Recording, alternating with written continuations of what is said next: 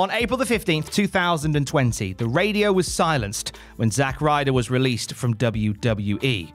Whilst he wasn't alone that day in being let go, seeing Matt Cardona's name on that list came as quite a shock. We've heard this Z True Long Island story too many times now. The one about the superstar who was punished for having the audacity to get organically popular, who would be held aloft like a trophy and then dropped like a hot plate over and over again, who would create genuine energy only for it to be siphoned off to his peers. The story today is a much brighter one. The one about the professional wrestler who turned every positive negative into a negative positive, who leaned back to push forward, and who has proved to a jaded wrestling industry that there truly is a future in future endeavors. My name is Tom Campbell from Cultaholic Wrestling, and this is the career renaissance of Zack Ryder.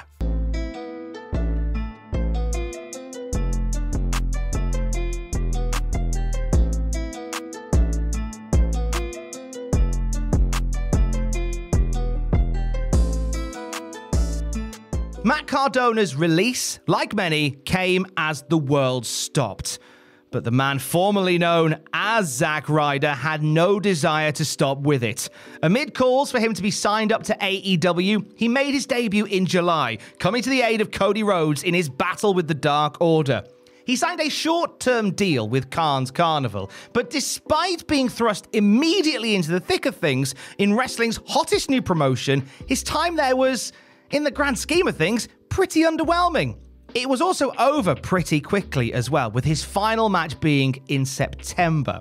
You'd have thought that somebody like Cardona, with a polished skill set and an unrivaled creative energy, would have found a firm footing in AEW, but he just didn't. Some questioned that this would be the end of Matt Cardona's wrestling career. Would he explore acting? Would he throw himself into podcasting? After all, his major wrestling figure podcast with former Edgehead ally Brian Myers was proving wildly successful. Just look at the numbers, right? At time of recording the show, which is Matt, Brian, and friends chatting wrestling, wrestling figures, and a whole bunch of other stuff, was the third most popular wrestling-based Patreon on the planet. See, that was easily going to keep Cardona in action figure money, right? It's through the Wrestling Figure podcast that you can see the true passion that Brian Myers and Matt Cardona have for the world of professional wrestling. There's a lot of love when they talk about it, and it even turned into a wrestling show in itself Figure Wrestling Federation Live saw Matt Cardona and Brian Myers booking their own wrestling show. Brought Maven back into wrestling, which was good to see. No, Matt Cardona still very much had a wrestling itch he wanted to scratch. And scratch he did when he rocked up as a surprise opponent for Ace Austin at Impact Wrestling Hard to Kill in January. He'd butt heads with Brian Myers across multiple shows as well, in a feud between the friends that culminated in Cardona bringing back up for a mixed tag match at Slammiversary in the form of his wife, freshly released from WWE, Chelsea Green. It was good to see regular work and consistency from Cardona after so many years of hot and cold presentation. But the true rebirth was happening away from the impact zone. On June the 6th, 2021, reigning GCW champion Nick Gage was attacked by a mystery hooded figure. Now, Nick Gage had been going back and forth with Jon Moxley as of late, so when this person had the walk of a Jon Moxley and hit the paradigm shift, Jon Moxley's finisher, we all presumed it was Jon Moxley. Except it wasn't Jon Moxley. The hood was removed to reveal the smug grin and the one middle finger of Matt Cardona, making his official debut in Game Changer Wrestling.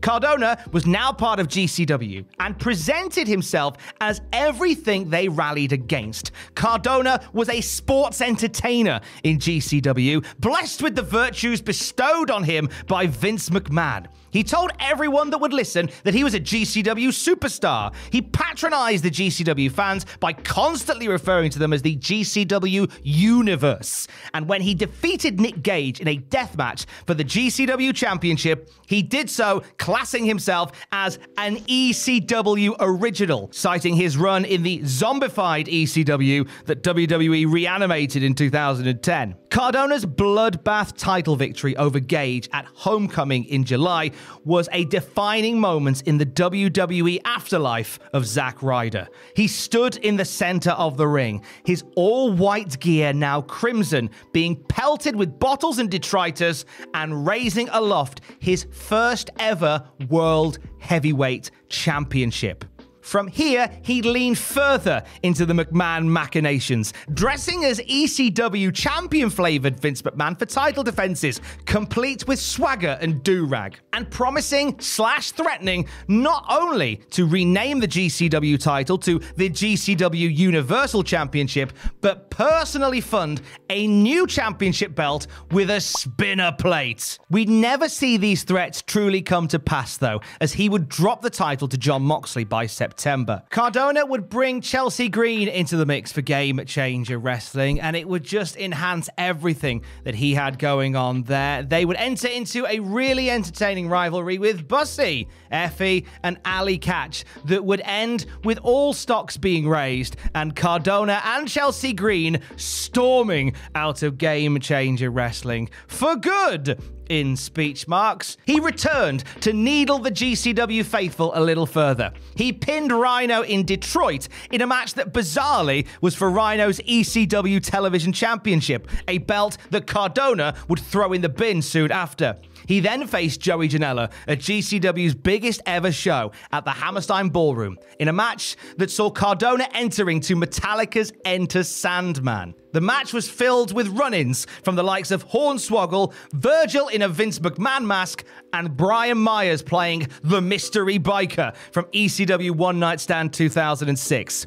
If you like a lot of meta in your wrestling, this is for you. And Matt Cardona was having the time of his life with it. Cardona, as a dirty, rotten, sports entertainment loving heel, has turned a lot of heads in wrestling, but his Impact Wrestling run had continued unaffected by this. It got to the point where Impact was the only promotion booking Cardona to play a top babyface.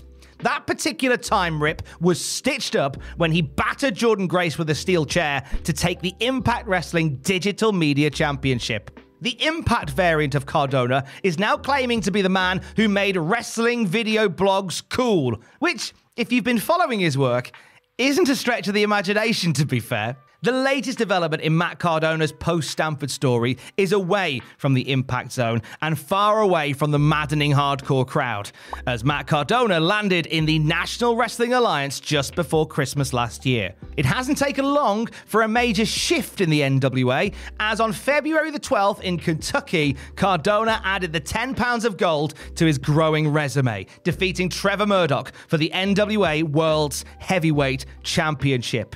We've seen several incarnations of the former Zack Ryder so far, every iteration hitting a little different from the last. So expect more range from Cardona once he gets the motor running with sweet Charlotte around his waist. Matt Cardona's post WWE journey has been incredible to watch, not just by fans who have known all along what he was capable of, but by his peers as well. Now, ex WWE talents are saying that Matt Cardona's exploits are reassurance and encouragement to them that things will work out okay outside of the security of a WWE deal. Scotty 2 Hotty was one of those who, when we spoke to him for Desert Island Graps back in January, said that seeing Matt Cardona tear it up on the Indies was the final bit of encouragement he needed to ask for his release from his producer's role in NXT and get back out into the wild indie wrestling world. There will no doubt be many more who are indirectly thanking Matt Cardona for waking them up and inspiring their next steps. Matt Cardona spent 14 years in the WWE portraying Zack Ryder, desperate to show what he could do. Desperate to bring his ideas to life and desperate to prove he could be money making in a main event position. As he approaches his two year anniversary of the budget cut phone call that altered the course of his career, Matt Cardona proved that with perseverance, talent, creative energy, and some blood splattered white ring gear, you don't need good luck in your future endeavors.